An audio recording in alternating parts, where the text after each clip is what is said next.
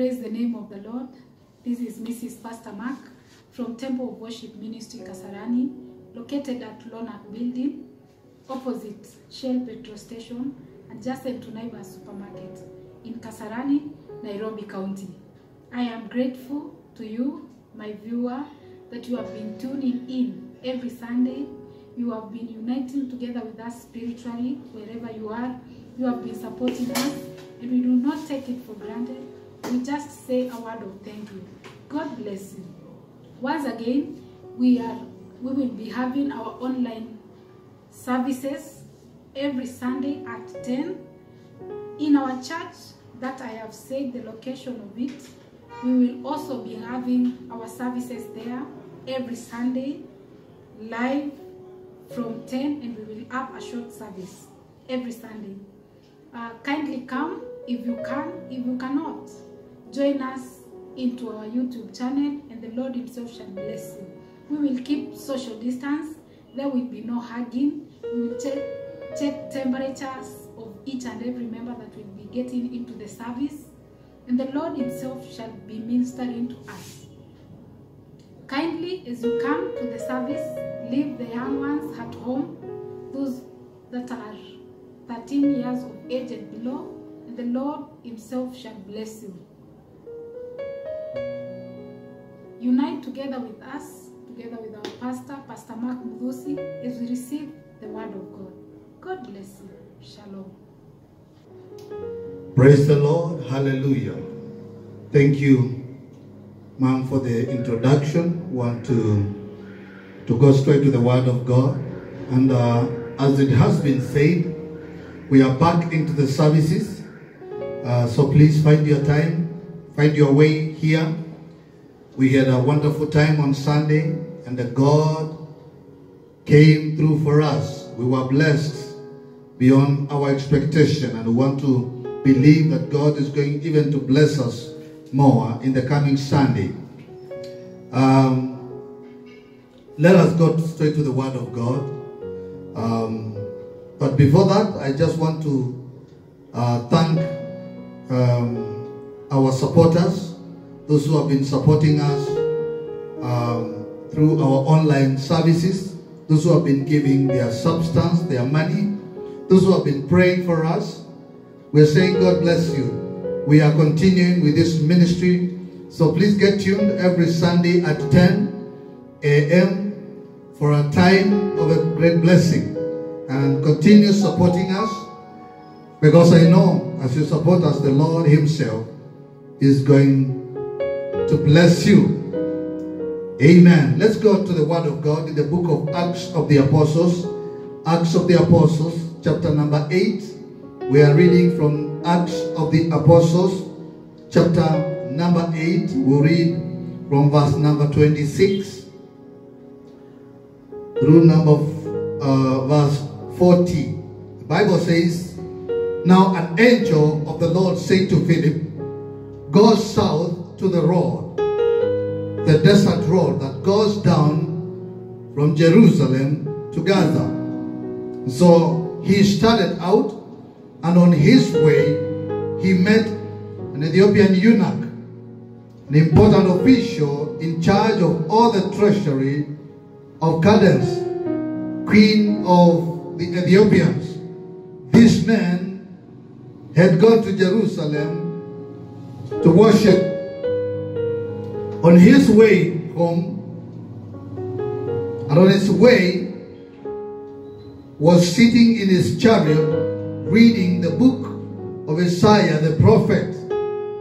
The Spirit told Philip, Go to that chariot and stay near it. Then Philip ran up to the chariot and heard the man reading Isaiah the prophet. Do you understand what you are reading? Philip asked. How can I? He said, unless someone explains it to me. So he invited Philip to come up and sit, sit with him. The eunuch was reading this passage of the scripture. He was led like a sheep to the slaughter, and as a lamb before the shearer is silent, So he did not open his mouth. In his, in, in his humiliation, he was deprived of justice. Who can speak of his descendants? For his life was taken from the earth. The eunuch asked Philip, Tell me, please, who is the, uh, the prophet talking about? Himself or someone else? Then Philip began with this very passage of the scripture and told him the good news about Jesus. As they traveled along the road, they came to some water, and the eunuch said, Look, here is water. Why should I be baptized? And he gave orders to stop the chariot. Then Philip, then both Philip and the eunuch went down into the water, and Philip baptized him. When they came out of, uh, um, when they came up out of water, the Spirit of the Lord suddenly took Philip away, and the eunuch did not see him again, but went on his way rejoicing. Philip, however, however, appeared at Azotus and had traveled about preaching the gospel in all the towns until he reached Caesarea. Um, let's go to the Old Testament, read two uh, verses there in the book of Joshua. The book of Joshua, chapter 1, verse number 8 and verse number 9. The Bible says, Joshua chapter 1, verse number 8 and verse number 9. The Bible says, Do not let this book of the Lord depart from your mouth.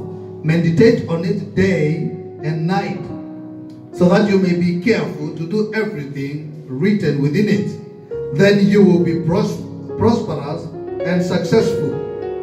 Have I not commanded you? Be strong and courageous. Do not be terrified. Do not be discouraged. For the Lord your God will be with you wherever you go. Let us pray. Our Father and our God, I thank you for giving me yet another chance to speak your word to your people. Lord, even as your people listen to this word, I pray that their lives will be transformed by the anointing of your word. I pray that, Lord Jesus, you will connect people divinely for the glory and honor of your name. I humble myself, Lord, and I decrease that you may increase as I speak your word. Use me as a vessel only, but let the honor and the glory come back to you. I thank you, Father, and I bless you. In Jesus' name I pray. Amen. Amen. I want to speak to you today about divine connection. Divine is godly. Divine means godly. So when somebody tells you this is divine, it means this is godly. And uh, when I talk about divine connection, I mean godly connection. There are some connections that are godly. There are some connections that are not godly. And so today we want to look at, at divine connection. Want to start by saying our destiny is what we live for. We we live because we have a hope of tomorrow. We live because we are hoping that things are going to get better. We live because we are hoping that, that the world is going to offer better things in future. We live because we, we, we, we are hoping that we are going to be promoted where we work.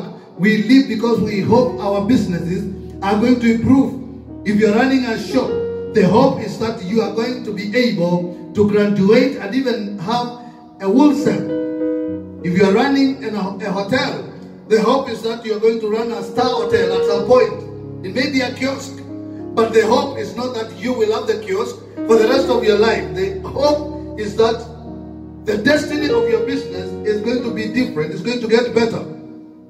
And so we live hoping the destiny is going to be better for us. Our destiny speaks bigger and better things than now. You know, when you think about your life 20 years ago, it's so different from what it is today. God has enabled you to improve yourself, become better every other day. You know, I I was thinking the other day, what if we start life when we die of old age? What if life starts there and then goes back? Be interesting. We will not be looking at improvement, we will be looking at getting worse every day. But you will start by probably enjoying pension. You are born and then you start enjoying pension. Then you become a manager. The years go by, you become a supervisor. As the years go by, you become jobless. As the years go by, you go back to university. As the years go by, you go back to high school. As we continue, you go to primary. You find yourself in your mother's back, a toddler. And then you find yourself in the womb of your mother, and that's the end of your life. That will be a bit interesting. Um, and so there will be nothing so much to look forward to. We will not look forward to our destiny because our destiny will be getting worse. Maybe at some point it will be better because when you become a high school boy, you have no responsibility. Now you have to pay house rent. Now you have to pay school fees for your children. Now you have to pay uh, uh, so many things that bills that you have to pay every month. But when you are a child, there are no responsibilities. It's only playing. So maybe that is the destiny that we'll be looking at. But that will not motivate us to work hard or to become anything better. God says He has good plans to give us a future and a hope. You know, He's talking about the, the future, not the past. He doesn't talk about He's going to change your past. Your past can never be changed. If you made a loss yesterday, that loss remains. If you failed your exam yesterday, that failure remains. But you can better your tomorrow, your, your future. And so God always talks about your future. He says He has a good plan for you to give you a future and to give you a hope. We must be hopeful if we trust in the Lord. And this destiny is not determined by what people. There are so many people that are that know you that have wished that you die. Throughout their life, they have wished that you die. There are people that have wished that you don't succeed. When you progress, there are people that are annoyed, that are not happy. There are people that are not happy when you buy a motorbike. There are people that are not happy when you buy a car. There are people that are not happy when you build a home. There are people that are not happy because you have a job. And so our destiny cannot be determined by people. When if people determine our destiny, then our destiny will not have a, a hope because people wish bad. Your destiny is not what your employer actually thinks. It's not even what your parents think. Your destiny is how you connect with God. And I said I am going to talk about divine connection. So your destiny is about how you connect with God. When we connect with God, we connect with our destiny because our destiny is in the Lord. It's about God's connection, not politicians. Not how well you know the politician, not how well you know the, the bishop, not how well you know the, the reverend, the pastor, not how well you relate with the apostle. It's about how well you connect with God. Connecting with God is getting his anointing. When you connect with, with God, the anointing of God is in your life. His anointing is to build his kingdom. His anointing is to strengthen, not to weaken you. The anointing is about protecting us. Let me tell you something. You are alive today because the anointing of God has protected you. Not because a witch doctor somewhere gave you some reason. It's because God's anointing has been protecting you. Your connection with God determines what you become. Your connection with a witch doctor is going to, to ensure that you perish because witch doctors are of the devil. And I am sure that there are people that are watching me that somehow believe in witch, witchcraft, that somehow believe in a witch doctor, or somehow you believed in it in the past. Let me tell you something. If you believe in a witch doctor, if you believed in a witch doctor, it was a wrong belief because a witch doctor is actually of the devil. I don't know how people actually end up believing witch doctors. They tell you they want to they want to they want to treat you so that your children can become successful. The witch doctor's children are not successful. How then can they treat your children to be successful? They tell you they want to treat you so that you don't fall sick. The witch doctor himself is sick or herself. They say they want to treat you so that you can have money and money in abundance. But the witch doctor is living in the slums. Why can they treat themselves to live in the upmarket? And so this is of the devil. You don't need the connection of a witch doctor. You need the connection of God and a divine connection for that matter. The story we have read, Philip was commanded by God to go to the desert. He didn't know where he was going. He was just commanded by the by the Spirit to go there. And he met an Ethiopian eunuch who had gone to pray in Jerusalem. You need to understand that those days, all the way from Ethiopia, all the way to Israel, that was one kingdom ruled by one person. And so Ethiopia was part of that kingdom. The Bible talks of Ethiopia in the Bible is referred to as Cush. Let me tell you, this country is blessed. The country of Kenya is blessed. Because the Bible says God will bless the country south of Cush, and that is Kenya. Away from that, this Ethiopian eunuch used to go to uh, uh, the people in the kingdom. They used to go to Jerusalem to worship the Lord every other offering. And so the Ethiopian eunuch, who was in high authority, had gone to worship. He was the minister for finance in the queen, uh, in the in the in the kingdom of the queen queen of Sheba. He was worshiping a God that he did not know. He was reading the scriptures, but the Bible says he did not understand them. So he was just reading the scriptures while not understanding them. I don't know whether you have read a novel. I don't know whether you have read uh, something and you don't understand what you're reading. It's very boring. And so this guy was reading the scripture. But he was not understanding. Sometimes you may read the scripture yourself and you may not understand. Let me tell you something. Keep reading. God is going to reveal himself through the scriptures. Keep reading. When you read and you don't understand, don't stop there.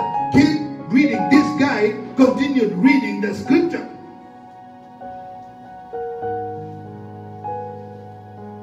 Even when you feel like not praying, keep praying. When you feel like giving up, sleeping, you know, I don't know. But you know when you can be to go before the Lord and pray, then you start yawning. Encourage yourself and pray. God is going to hear you. Even when you don't feel like singing, even when you keep singing, keep believing, even when it looks like it's not working. This is the message. Keep believing.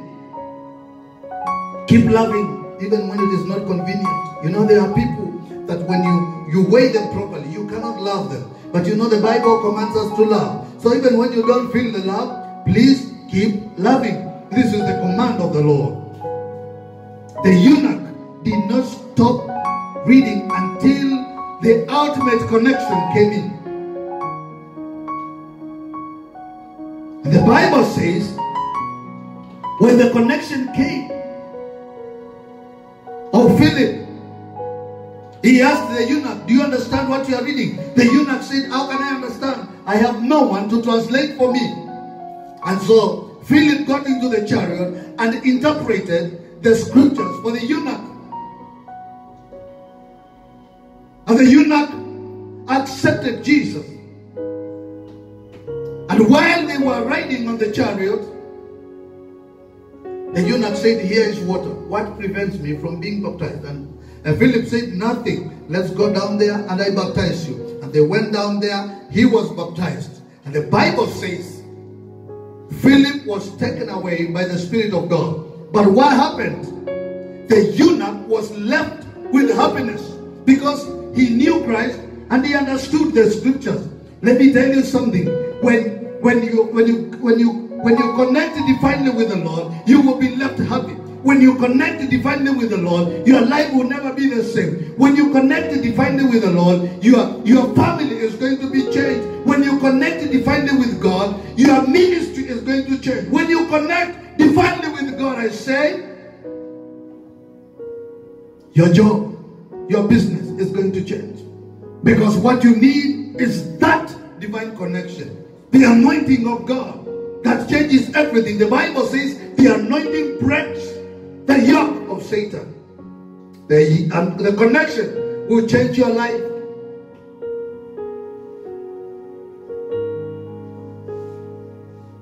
You know, Paul, initially he was called Saul. He used to persecute Christians. He used to go around killing Christians when he hear people are singing songs of praise. He used to go there and kill them. And he used to take joy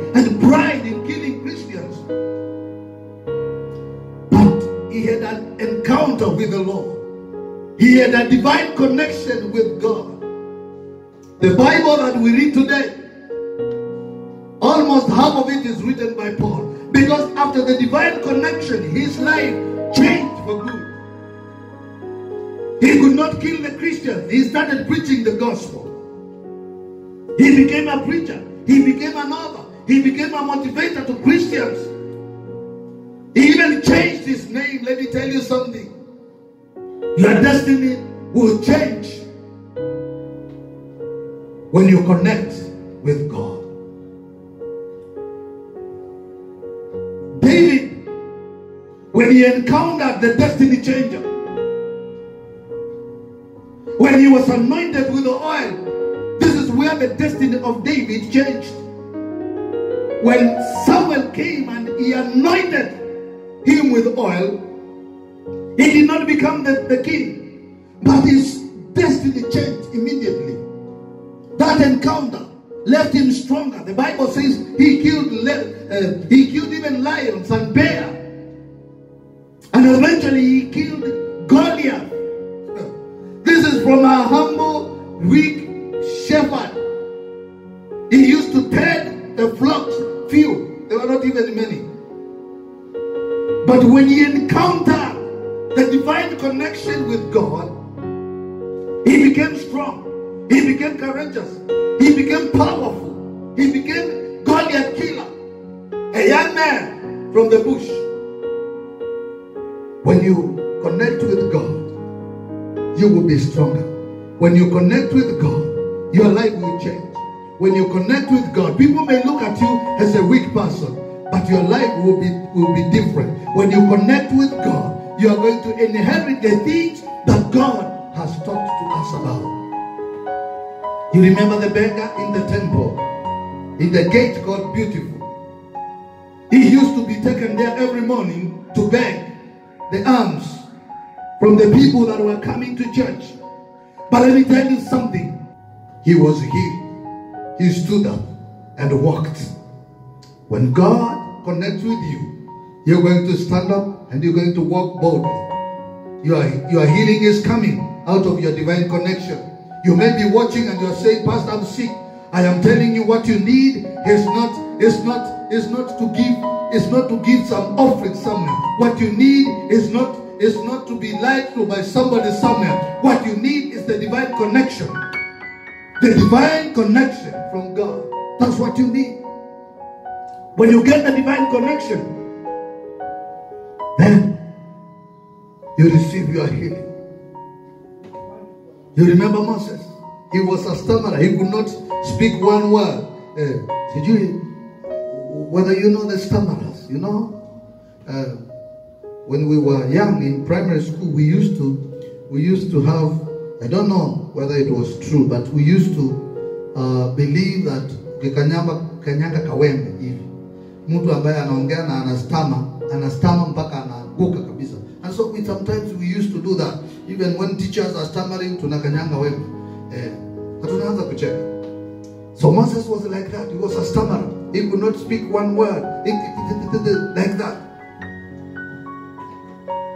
But connecting with God when he connected with God at the burning bush when the divine connection came to him at the burning bush Moses changed from that.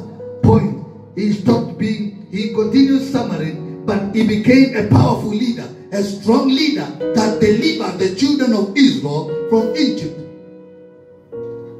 to Israel. A stammerer, a man that could not speak straight, a man that could not speak one word, you understand?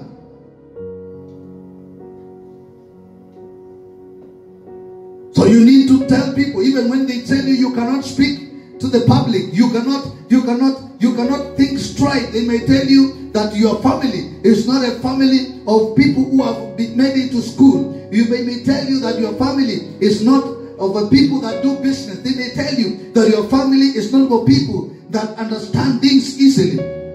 You need to look at them straight and tell them, don't look down on me if you don't know who I am connected to. The one that I am connected to can change somebody overnight. Don't judge the people that you see by what you know about them. Judge them by the God that they are connected to. You know the story of the woman with the issue of blood. She had suffered for many years. Many years. She was bleeding continuously, and I believe that she was smelling but when she had an encounter with the cloth of Jesus, just touching the helm of the garment, just touching the helm of the garment, that divine connection healed her blood flow instantly. You need to touch the helm of the garment of Jesus Christ. Most Abraham was a moon worshiper. Let me tell you, Abraham was not a man that used to worship living God. He used to worship the moon.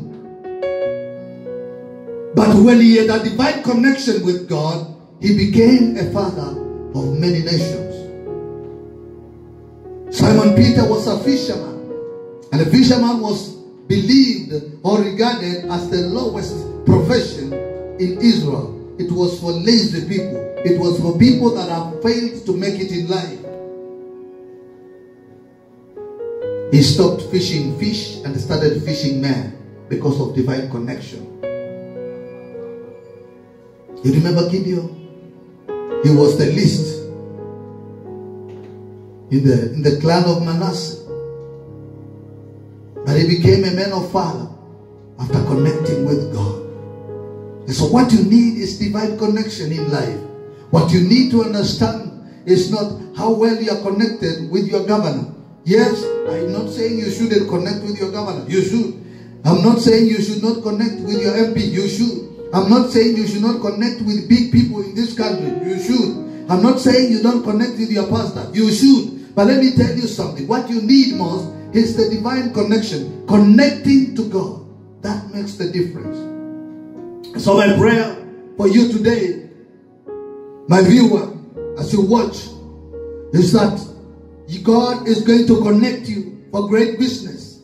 If you are there, you are a business person. I am speaking to you that God is going to connect you for greater businesses. The divine connection is going to bring business for you. The divine connection is going to, to, to accelerate your studies. The great uh, the divine connection is going to is going to bring a promotion for you. The great divine connection is going to become to bring overcoming for you. The great divine connection is going to, to make you a mighty preacher in the name of Jesus Christ. The connection with God is going to heal you and heal the sick that you lay hands on. The divine connection is going to bring you favor. The great divine connection is going to give you children. The divine connection is going to give you a mighty family. The divine connection is going to bring growth in your life. Somebody say amen.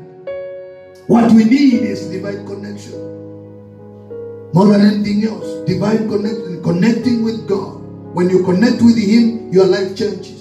My prayer for you today is that you connect with God today.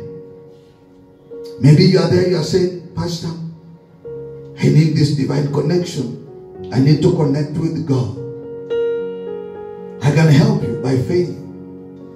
If you are there, you are saying you need to connect with God. Number one, remember what the eunuch did. Number one, he accepted Jesus. He was baptized. And the Bible says, when Philip disappeared, then he became happy as he was riding in his chariot. So there are there are procedures. It doesn't just happen. You you you you don't just connect with God by just wishing. Oh, I want to connect with God. It, it, it may not happen. So you need to give your life to Christ. If you are there, you want to give your life to Christ. I want to lead you to a repentance prayer. Say these words after me. Say, Lord Jesus, I come to you. I repent of my sins. Forgive me. Write my name in the Lamb's Book of Life. In Jesus' name. Well, if you have prayed that prayer, God has forgiven you. You're born again. You need now to move to the next level and the request that God gives you the divine connection. Or if you know the Lord, you are saved uh, and you know the Lord, you didn't need to pray, pray this prayer. We want to go and pray for divine connection. And I want you to believe with me wherever you are. Let us pray. Father, in the name of Jesus Christ, I am praying for my viewer today that Lord, you connected them divinely to you in the name of Jesus Christ. There are some that have struggled with their businesses. I am praying for divine connection with you, Lord. Their businesses are going to improve. There are some that have struggled with their families. Lord, I am praying that you divinely connect them with you, and the problems in the family are going to end. There are some that are that are that have been struggling with their jobs. Lord, I am praying from today that you you you open doors for their promotion in the name of Jesus Christ. There are some even that have been praying to get a job. Lord, I am praying for divine connection. That Lord, you enable them to be able even to uh, to get jobs to the glory and the honor of your name. I thank you, Father, because I see doors that are opening today. I see doors for your people that are open for divine connection in the name of Jesus. I worship you, Father, and I bless you in Jesus' name. I pray. Somebody say, Amen. Well, you need to have faith to receive this. And um, uh, as I wind up, I want to say a special thank you once again to our members of Temple of Worship and even those who have been viewing this program. We are continuing with uh, our ministry in YouTube. We're not going to stop. We are not going to stop because we have been called for this ministry. And so keep watching and may the Lord Himself bless you and connect you divinely. Shalom.